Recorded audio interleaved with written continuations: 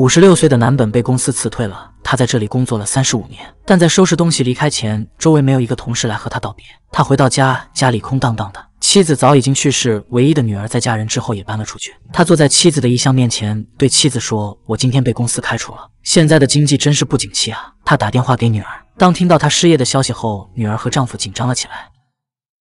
一緒に住むのは無理よ。うん、それは分かってるよ。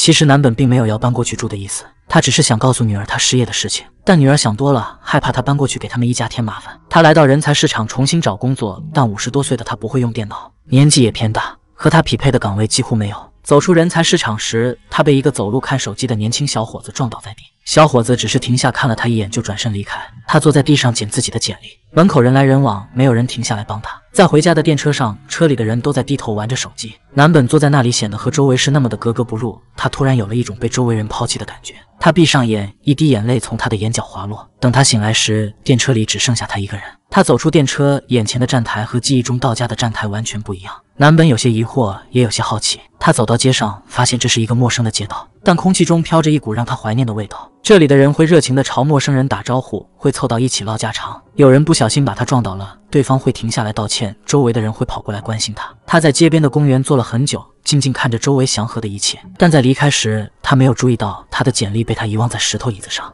直到快天黑时，身后有人喊他。おじさ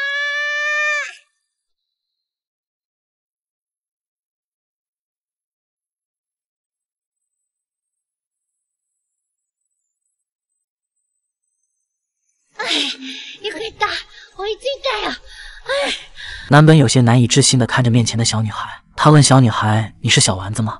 看到小丸子露出惊讶的表情， 他解释说：“虽然没有正式见过面，但是他却认识小丸子。他接过小丸子送来的简历。这时，小丸子突然问他为什么看起来无精打采的。他实话实说，告诉小丸子自己失业了。当小丸子问起他的家人为什么不帮他时，他有些失落，只是转过身靠在栏杆上。这时，他的肚子响了起来，他忘记了吃午饭，一整天只吃了一顿早餐，饥饿感似乎会传染，小丸子的肚子也咕咕叫了起来。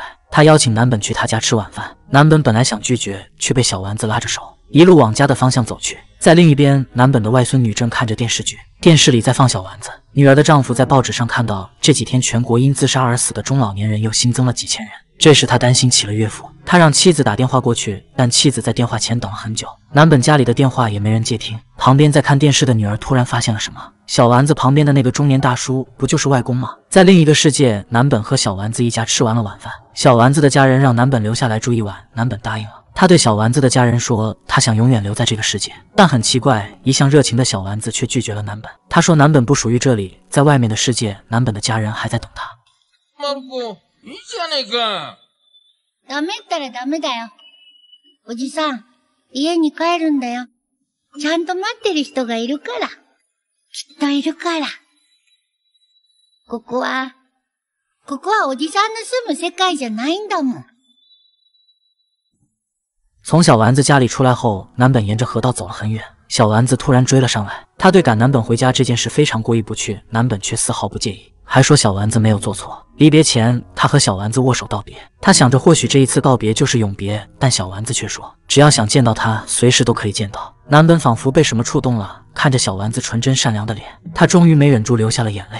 画面闪回，一滴眼泪落在南本的手上。原来他根本没有去小丸子的世界，刚刚发生的事情全都是黄粱一梦。他的周围依旧是低头看手机的年轻人，他又回到了这个让他觉得有一丝冰冷的世界。他失魂落魄的回到家，看到外孙女迎面跑了过来。女儿和女婿因为担心他，来到他家门口等了一晚上。在进门前，女婿突然邀请南本和他们一起住。或许是因为担心南本成为报纸上自杀的老年人之一，夫妻俩临时做了这个决定。南本没有拒绝，他知道自己肯定会给女儿和女婿添麻烦，但独自一人生活了那么多年，他此时是渴望和家人住在一起的。おじいちゃん早く。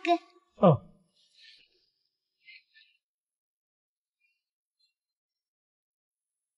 どうしたの一緒に暮らそうだなんて、お前たち、無理してんじゃないのかそんなことないわよ。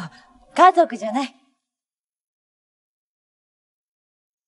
南本搬到了女儿的家，在吃晚饭时，外孙女打开了电视，里面播放的是小丸子。随后，外孙女不小心打翻了饮料，女儿和女婿急忙抱着孩子去清洗。当电视机前只剩下南本一个人时，他看到了奇异的一幕。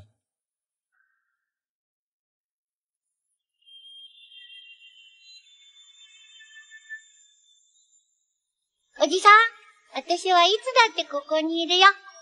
会いたくなったらいつでも会。